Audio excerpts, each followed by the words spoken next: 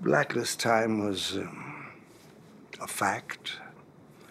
Uh, that I was uh, a suspect, got around early enough.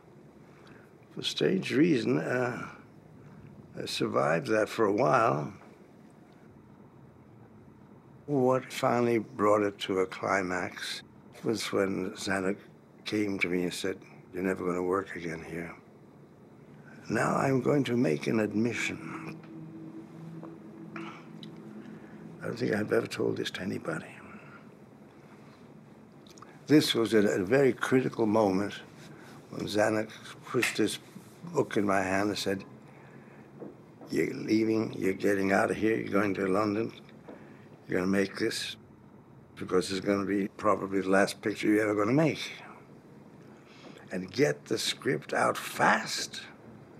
And start with the most expensive scenes so that they got the studio on a hook.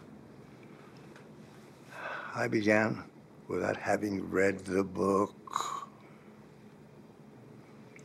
and only read it much, much later because there was no time.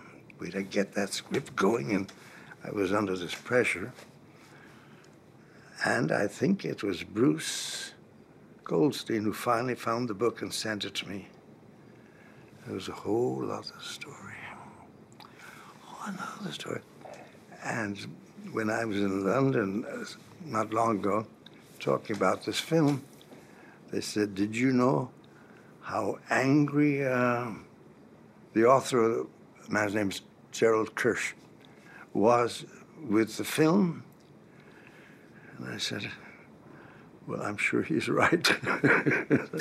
I never read it.